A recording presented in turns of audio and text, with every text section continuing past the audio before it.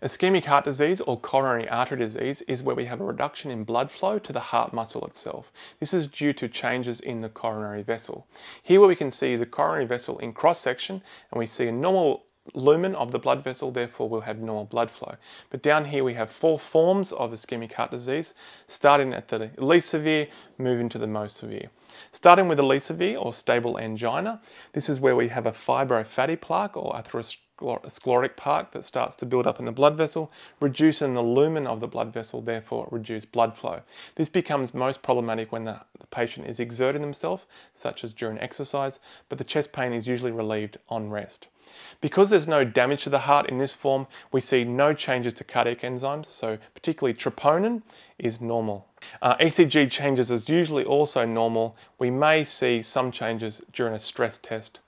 Going to it unstable. The next three are actually what we call acute coronary syndrome.